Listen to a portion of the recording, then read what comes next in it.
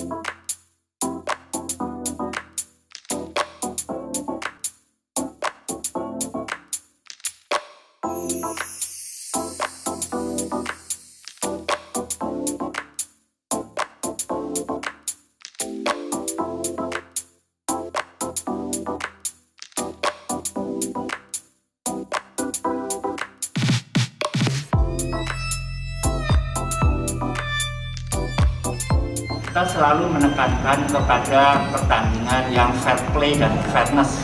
Jadi fairness itu berupa infrastruktur yang kita berikan atau yang didapat dari uh, eh, UGM misalkan dalam kasus ini harus um, bisa merata di uh, peserta ya.